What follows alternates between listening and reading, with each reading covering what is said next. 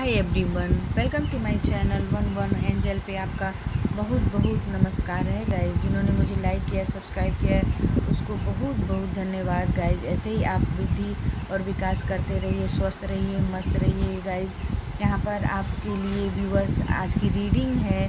कि आप दोनों के पार्टनर के बीच क्या चल रहा है? आप दोनों के मन में क्या चल रहा है? चाहे आपके लवर हों स्पाउस हो, या आपके प्रेमी हो, जो भी हैं, आप दोनों के मन में क्या चल रहा है? क्या हो रहा है? आप एक दूसरे को क्या समझ रहे हैं? क्या करने की कोशिश कर रहे हैं? ये जानने की कोशिश करेंगे गाइज़ हम। यहाँ पे कलेक्टिव रीडिंग होगी गाइज़ आपको जो अटेक्ट करता है, जो भी आपको मैसेज अगर रिसीव होता है तो उसको आप रख सकते हैं गाइज़ यहाँ पर।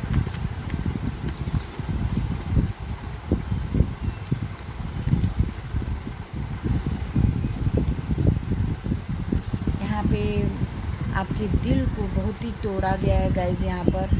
आपके कार्ड से ये आपकी ऊर्जा निकल कर आ रही है। आप बहुत ही दर्द में हैं। दुखी हैं, परेशान हैं, पीड़ा में है। देख रहे हैं किस तरह आपके दिल पे खंजर भूखा गया है यहाँ पर। आप बहुत बहुत ज़्यादा परेशान हैं लव लाइफ को लेकर, या अपने प्रेमी को लेकर लवर को लेकर, या अपने जीवन साथी को लेकर। यानी आपको लव लाइफ में सिर्फ़ तकलीफ़ें मिली हैं, दुख मिला है, पीड़ा मिला है।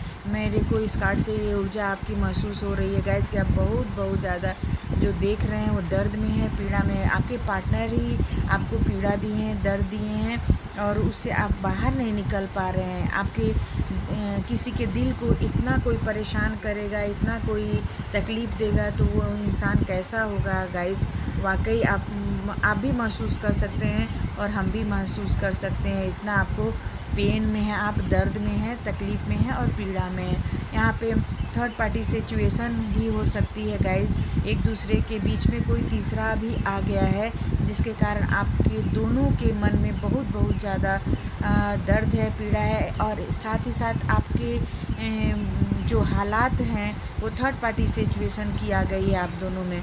आप ना इधर जा पा रहे, ना उधर जा पा रहे बल्कि आप बीच की स्थिति में, आप दोनों के बीच में अधर में लटके हुए हैं। ना आप इनको चुन पा रहे हैं, ना आप उनको चुन पा रहे हैं।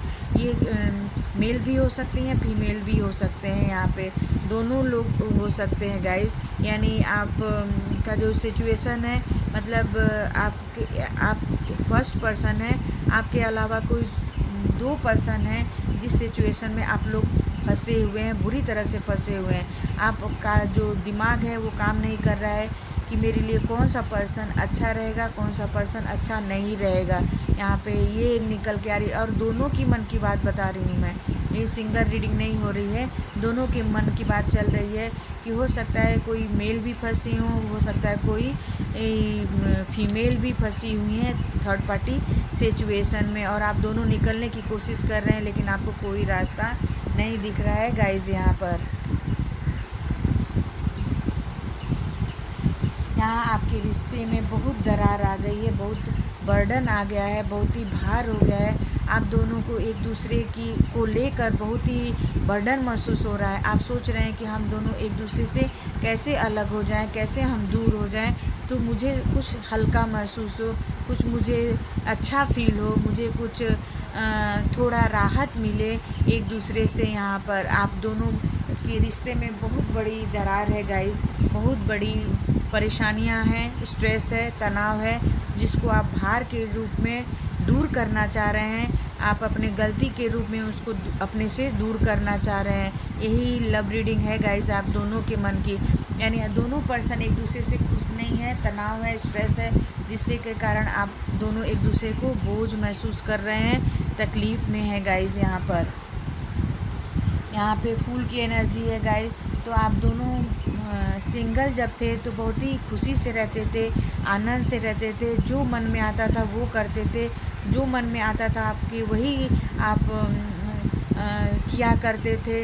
यानी अकेले जाना, खुशियों को ग्रेप करना घूमने जाना पिक्चर जाना शॉपिंग जाना। यानी आप अकेले थे तो बहुत बहुत ढेर सारी चीज़ें करते थे। लेकिन जब आप दोनों एक दूसरे से मिले या थर्ड पार्टी सिचुएशन आपके जब लाइफ में आ गई एक दूसरे के लिए तो आप बहुत ज़्यादा बर्डन महसूस करने लगे, तनाव स्ट्रेस महसूस करने लगे। आपकी जितनी भी आनंद, खुशी, जो आपके लाइफ में खुशियाँ थी, प्यार था, स्नेह था, चुलबुलापन था, अल्हड़पन था, वो जितनी भी चीज़ें, अच्छी चीज़ें थी, वो अब भार के रूप में बदल गई हैं, बर्डन के रूप में बदल गई हैं। आपका बहुत ज़्यादा दिल तोड़ा गया है, आपको खंजर बोका गया है, आपको दर्द के सिवा कुछ भी नहीं दिख रहा है गाय जितने आप पहले अच्छे थे, जितने खुश थे, जितने आप आनंद से रह रहे थे, उतने ही आप इस समय दर्द में हैं, पीड़ा में हैं, भार महसूस कर रहे हैं अपने ऊपर गाय मैं आपके पीड़ा को, दर्द को महसूस कर सकती हूँ यहाँ पर।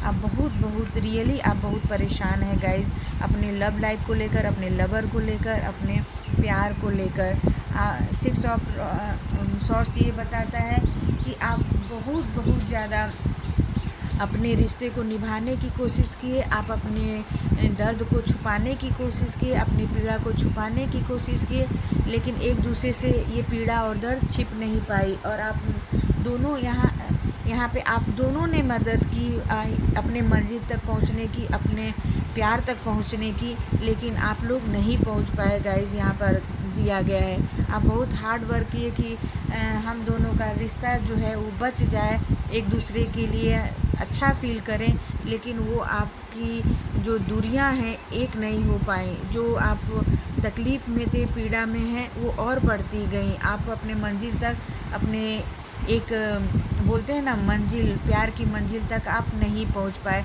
आपने कोशिश की यहाँ पे दिखाई दे रहा है लेकिन आप दोनों नहीं पहुँच पाए।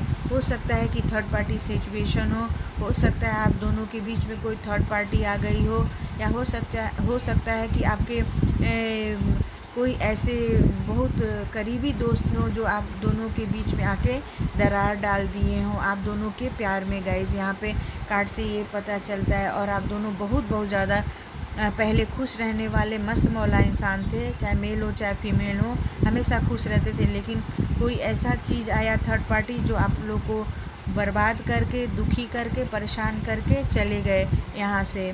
और आप दोनों इस समय सप्रेशन में हैं। तनाव में है और दूरियों में है गाइज़ आप लोग। सिक्स ऑफ़ कप ये बताता है कि आप बहुत बहुत ज़्यादा पहले जो थे, वो बहुत ही खुशी चाहते थे एक दूसरे के साथ, एक दूसरे के साथ फैमिली बनाना चाहते थे, एक दूसरे के साथ घर बसाना चाहते थे, एक दूसरे के पास रहना चाहते थे। लेकिन आपका ये जो जो हालात है, वो बदलते गए। थर्ड पार्टी सिचुएशन के आने के बाद, यानी दोनों के बीच में कोई तीसरा है गाइज़ आप लोग ये मान लीजिए। और वो आप लोग को बहुत दूर करने की कोशिश भी कर रहा है या कर रही हैं। आप समझ सकते हैं मैं क्या बोलना चाह रही हूँ यहाँ पर।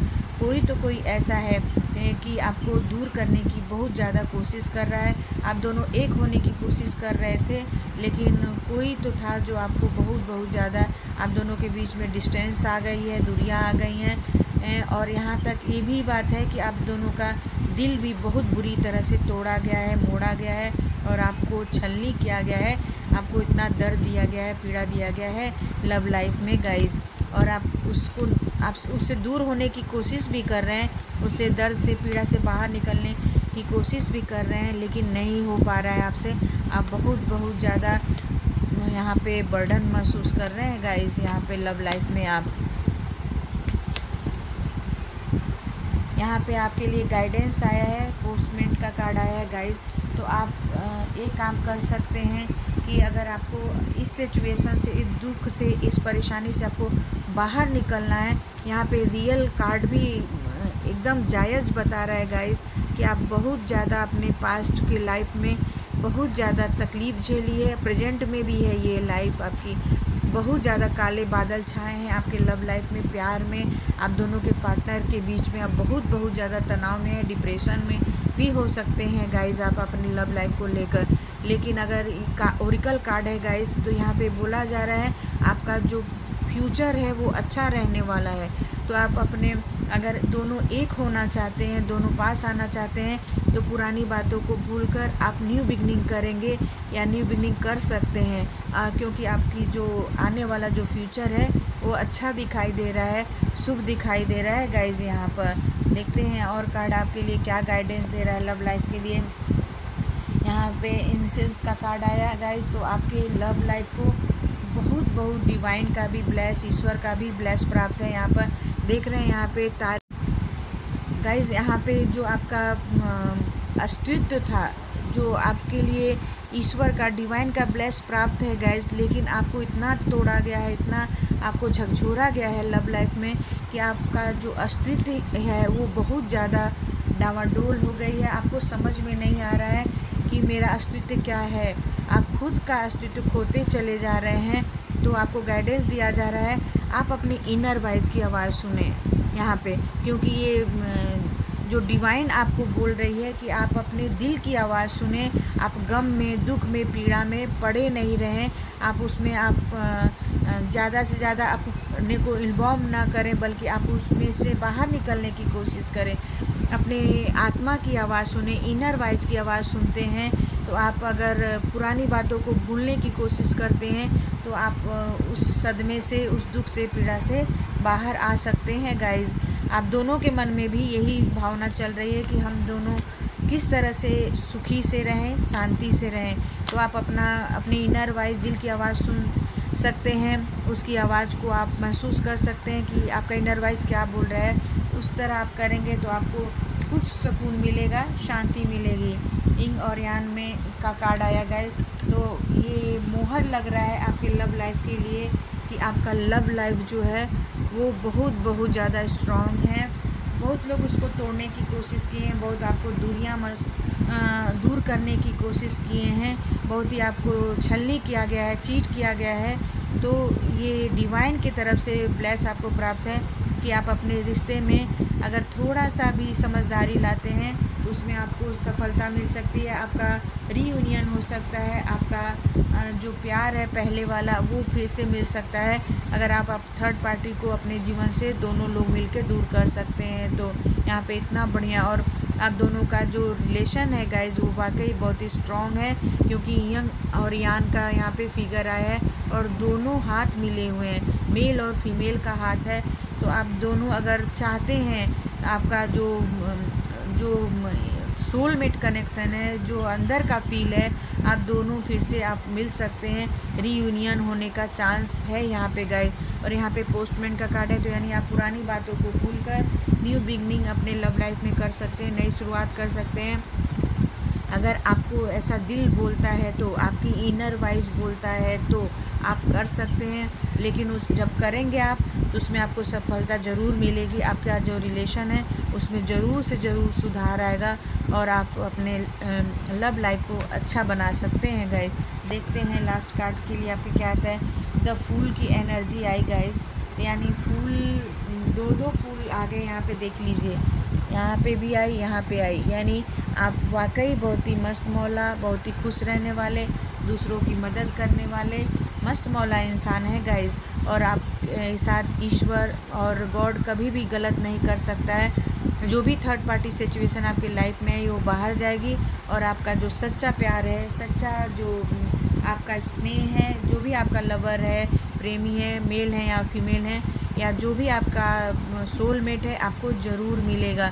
और जो आपके साथ गलत कर रहा है, वो गलत नहीं कर पाएगा, आपके लाइफ से हट जाएगा। यहाँ पर ये दिया गया है। अगर आप थोड़ा सा अपने अंदर सुधार लाते हैं, दोनों पर्सन दोनों लवर या प्रेमी या जीवन साथी, जो भी प्रेम करने वाले हैं, अगर आप अपने रिश्ते को सुधारना चाहते हैं तो आप बहुत अच्छी तरह से एक दूसरे के साथ बैठ के हर बात को क्लियर करिए अपने एक दूसरे को समय दीजिए, एक दूसरे से बातें करिए और अपना पहले वाला अल्हड़पन लाइए, प्यार लाइए, स्नेह लाइए।